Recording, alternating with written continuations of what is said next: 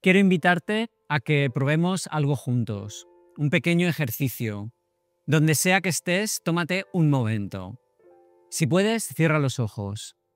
Escribe una frase bonita, como si le estuvieras hablando a esa persona que tanto quieres. Y si te animas, déjala aquí, en los comentarios. Me encantará leerlas todas. ¿Alguna vez te has sorprendido hablándote de una forma en la que jamás, pero jamás le hablarías a alguien a quien quieres? Esas pequeñas frases, casi susurros, que te lanzas cuando algo sale mal, ese qué tonto soy, siempre me pasa lo mismo, no sirvo para esto. Lo curioso es que este diálogo interno aparece justo en los momentos en que más necesitaríamos una palabra de apoyo, una mano en el hombro. Imagina por un momento que tu cerebro es un jardín. Cada pensamiento que tienes, cada palabra que te dices, es una semilla. Algunas de esas semillas germinan y se convierten en flores de calma y confianza. Otras, en cambio, se convierten en maleza de miedo y ansiedad.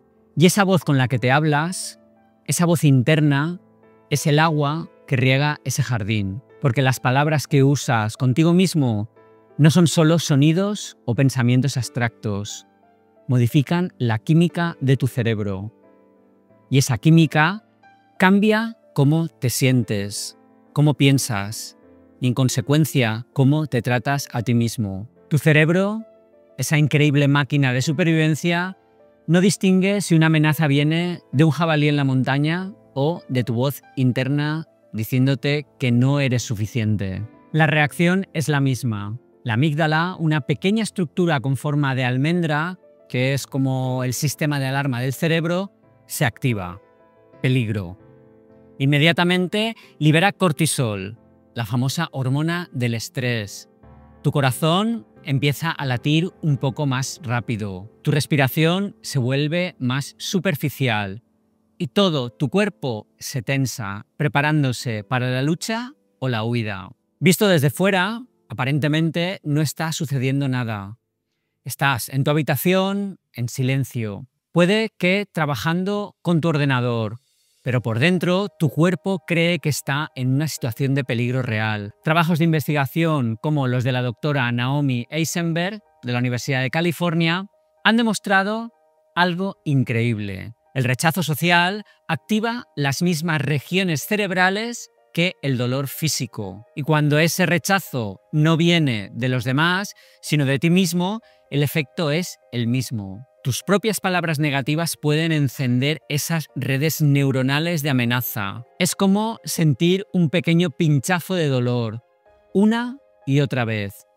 Lo peor es que si esto se repite, el cerebro se acostumbra a vivir en este modo de defensa constante. Los neurocientíficos llaman a este estado modo de amenaza. Y cuando estás en este modo, la corteza prefrontal, que es la parte racional de tu cerebro, la que toma decisiones con calma y perspectiva, en parte se apaga. Pierde protagonismo. Por eso, a veces sientes que no puedes pensar con claridad o que te bloqueas. No es porque seas débil o menos inteligente, es porque tu cerebro está demasiado ocupado protegiéndote de ti mismo. Así que la próxima vez que sientas que no tienes motivación para nada, pregúntate, ¿no será que mi cuerpo está sencillamente agotado de defenderse de mis propias palabras? Y aquí viene la parte esperanzadora, porque por suerte también ocurre lo contrario. Cuando te hablas con amabilidad, con compasión, activas circuitos cerebrales completamente diferentes. La neurociencia lo llama el sistema de calma y conexión. Este sistema está impulsado por neurotransmisores que nos hacen sentir bien, como la oxitocina, la hormona del vínculo y la confianza, y la dopamina, la molécula de la motivación y el placer. Un estudio liderado por Paul Gilbert y James Kirby en la Universidad de Derby demostró que realizar ejercicios de autocompasión aumenta la actividad del sistema nervioso parasimpático. Este es el sistema que nos ayuda a relajarnos y a descansar. Reduce la frecuencia cardíaca y los niveles de cortisol. Es decir, la amabilidad incluso cuando es contigo mismo, calma tu cuerpo a un nivel fisiológico.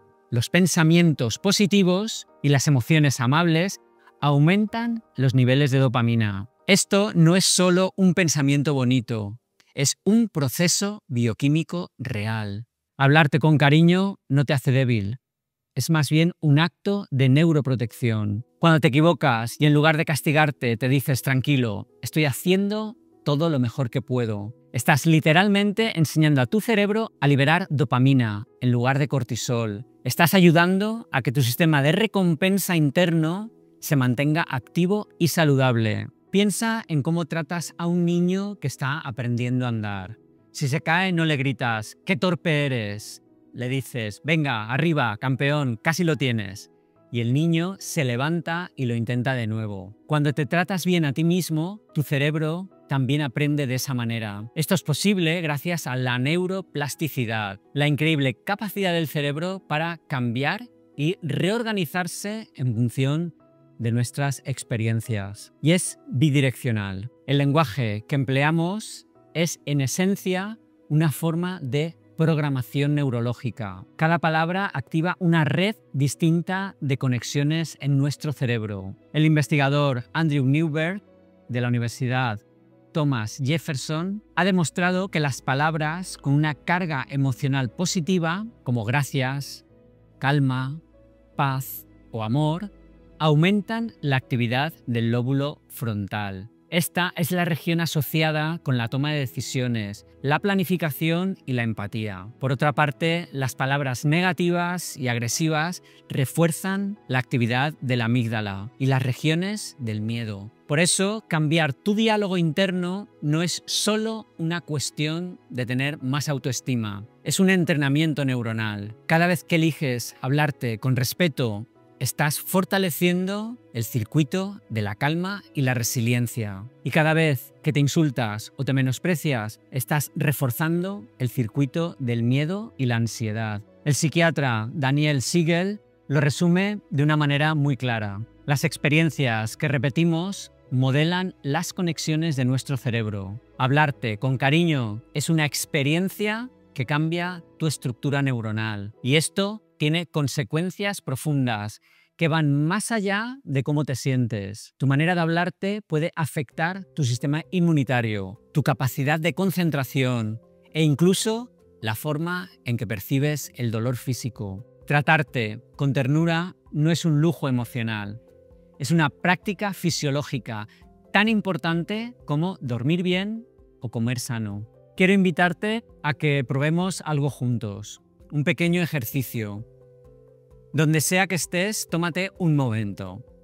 Si puedes, cierra los ojos. Respira hondo.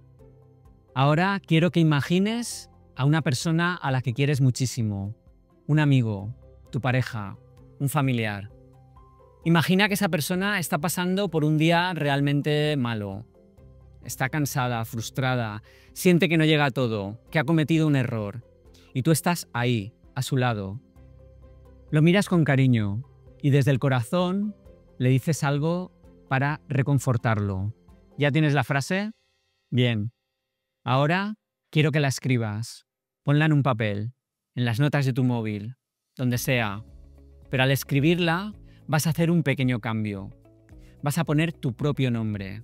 Sé que puede sonar raro al principio. Puede que incluso una parte de ti se resista o que no se lo crea del todo. No importa.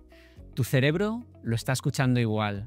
Está recibiendo esa nueva información y empezando a reorganizar sutilmente sus circuitos alrededor de ella. Así que repite tu frase.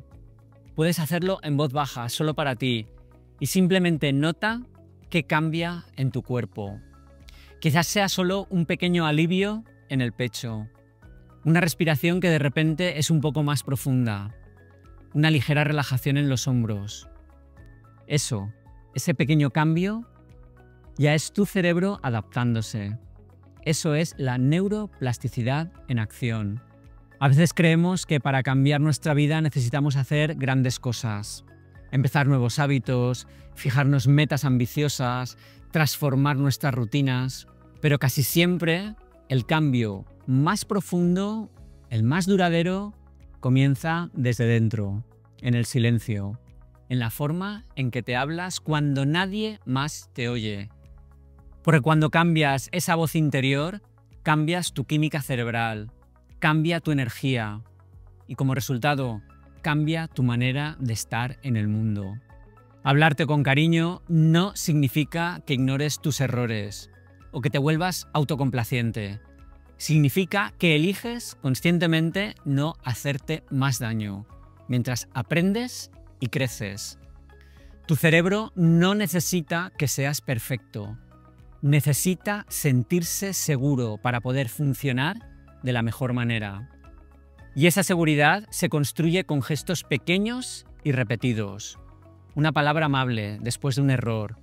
Una pausa para respirar cuando te sientes agobiado. Un hoy voy a descansar cuando estás agotado. Así que te dejo con una invitación final. Escribe una frase bonita, esa misma que has pensado antes, o una nueva, como si le estuvieras hablando a esa persona que tanto quieres.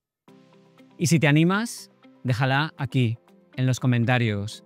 Me encantará leerlas todas. Y la próxima semana compartiré algunas de las que más me gusten. Porque leer palabras amables, incluso dirigidas a otras personas, también activa esa misma red de empatía en nuestro cerebro. Es como si las estuviéramos recibiendo directamente. Al final, no se trata de forzarte a pensar en positivo, se trata de tratarte bien, con la misma ternura con la que cuidarías a alguien a quien amas profundamente. Porque cuando lo haces, tu cerebro florece y tú, inevitablemente, floreces con él. Veamos ahora el comentario más votado en el vídeo en el que os hablaba sobre siete señales de alerta de que tienes diabetes, que si no lo has visto todavía no sé a qué esperas. Haz clic aquí con el botón derecho del ratón y ábrelo en una pestaña nueva para verlo después. El comentario más votado fue el de Javier, que le gusta que el vídeo haya sido preciso y detallado, sin ser demasiado extenso. Gracias Javier por tu comentario tan alentador. Un fuerte abrazo. Si el vídeo te ha parecido útil, por favor dame al me gusta, compártelo con alguien a quien creas que le pueda servir y no olvides suscribirte al canal para no perderte nuestros próximos contenidos. Por supuesto, recuerda que siempre debes consultar con tu médico o profesional de la salud antes de iniciar cualquier tratamiento o suplemento, ya que cada persona es diferente. Este vídeo solo tiene fines informativos y educativos, así que centra tus comentarios en cómo mantener una buena salud. Y aquí puedes suscribirte al canal. Y aquí ver un vídeo sobre 7 señales de alerta temprana de diabetes. Ha habido jaleo hoy aquí para grabar, ¿eh? Madre mía, qué complicado.